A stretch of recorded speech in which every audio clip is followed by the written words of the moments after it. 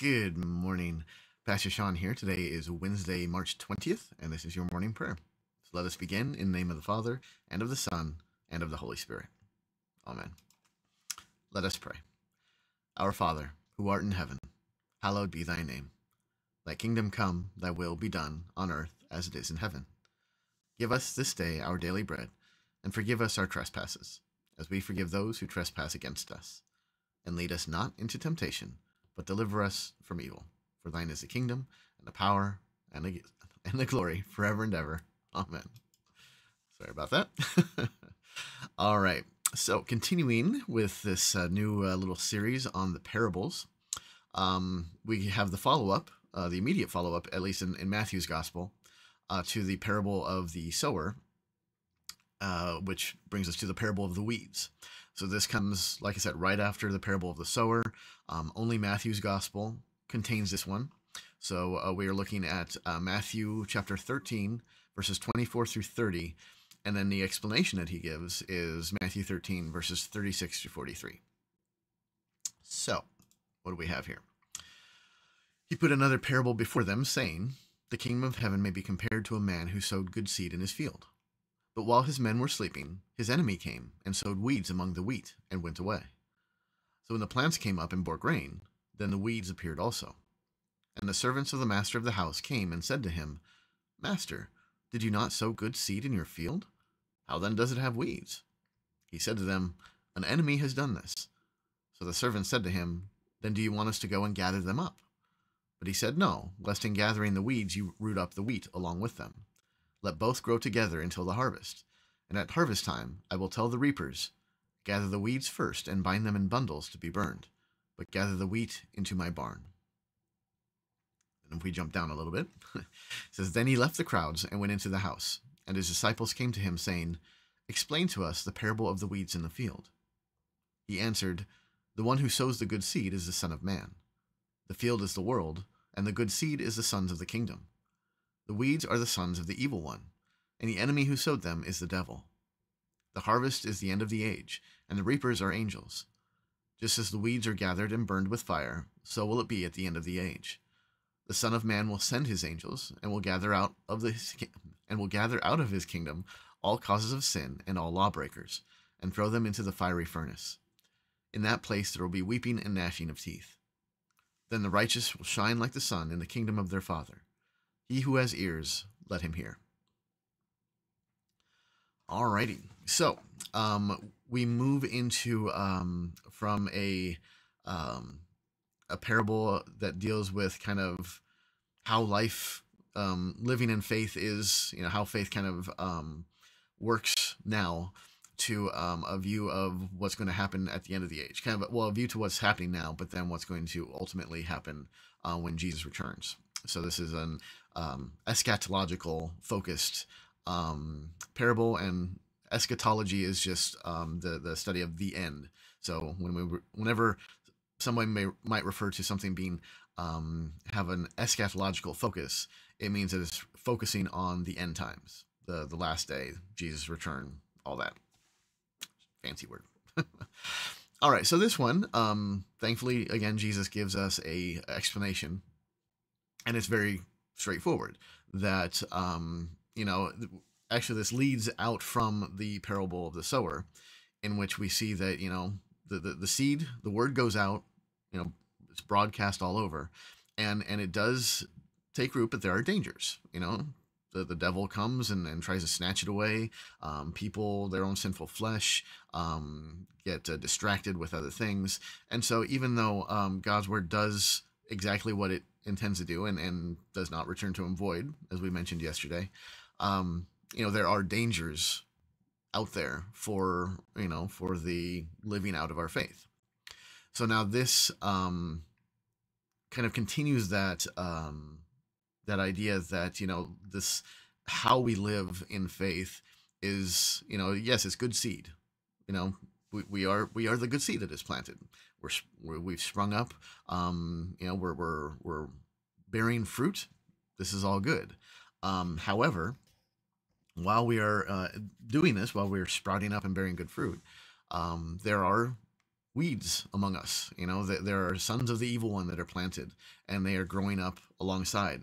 So, um, you know, and that presents, you know, a, a, a danger to our faith. You know, the the um, potential or possibility that we would be led astray, that um, that uh, that influence would be bad for us. Um, we get that from the the angels who who notice what happened and they go to God and say, "Hey, look, there's weeds. this is not good. Should we pull them out?" Um, indicating that you know there there is there's still danger to be living surrounded by sin, even if you are good seed planted in good soil. Um, living in a broken, sinful world surrounded by sin is is not the way it's supposed to be, and it, it does. I mean, I think we can all agree that it, it makes life challenging, difficult.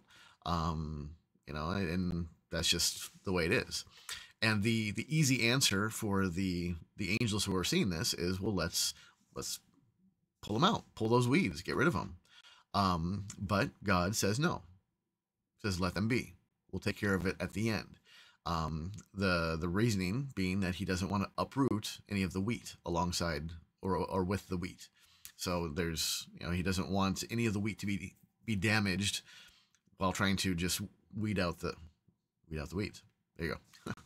um, so we get um, a a nice picture in this parable of the the nature of of God. Um, and this this definitely um, you know it helps to answer the question of you know why why is there still so much evil? It's like the the question is that why doesn't God do something about it? Um, you know, God is all powerful, certainly. Why can't he just come and, and take out take out all these this sin? Why can't he he come and, and do his gardening right now and, and take care of this all? Why do we have to endure um, this all the evil around us when when you know the easy solution is God just come out, come down and, and take care of it.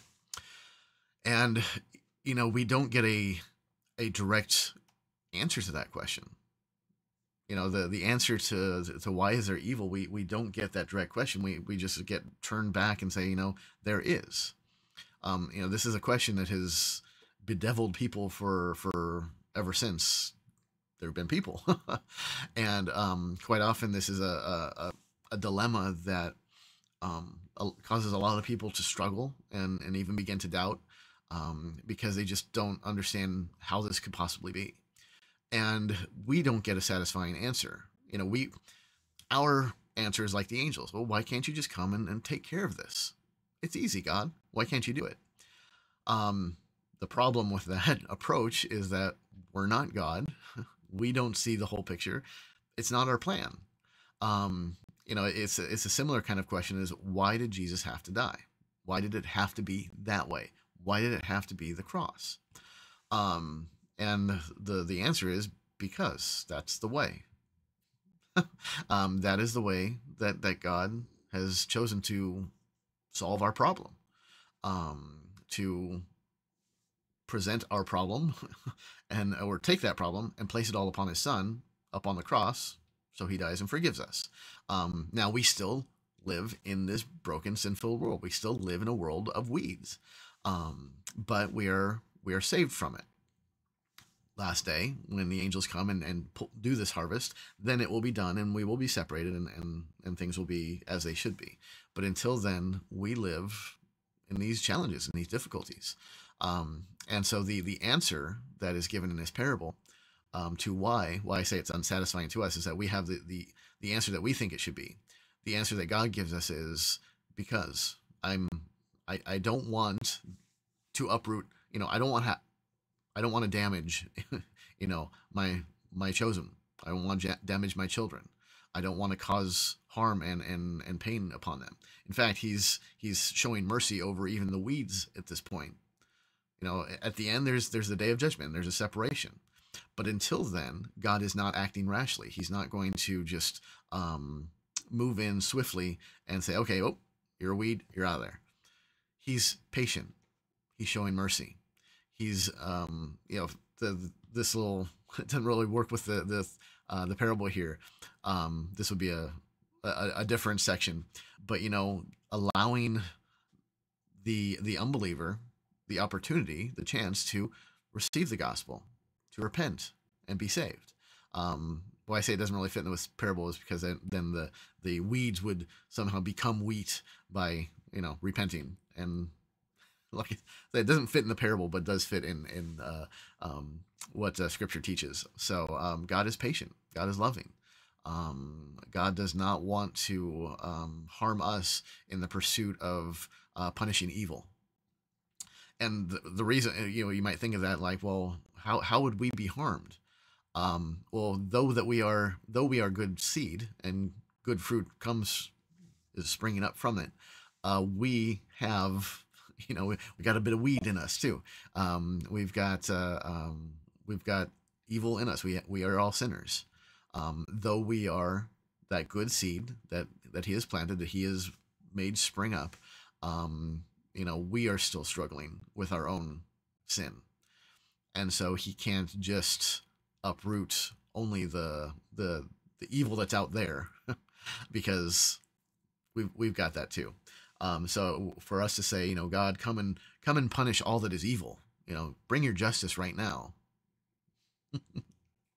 Um, there there there'd be some you know it's like well we we've got some of that too, and um, you know if if you want to watch the evil be punished, um, yeah, um, no one no one is getting out of here easy or you know well because we are all sinners. So um, so yeah, this parable is is certainly giving us a picture of um, God's patience, God's mercy, um, his desire to save his people, um, his desire to preserve them, and his desire to not um, not uh, cause harm to them um, that would I was gonna say cause them harm, but that's redundant. Anyway, it's early. I think I've made my point. So, um, so there you go. Parable of the weeds. If you have any questions about that, please uh, let me know in the comments. Let us pray. I thank you, my heavenly Father, through Jesus Christ, your dear Son, that you have kept me this night from all harm and danger, and I pray that you would keep me this day also from sin and every evil, that all my doings in life may please you. For into your hands I commend myself, my body and soul, and all things. Let your holy angel be with me, that the evil foe may have no power over me. Amen. Blessings to you on this Wednesday. Hope you have a wonderful day, and uh, we'll see you tomorrow. So until then, peace be with you.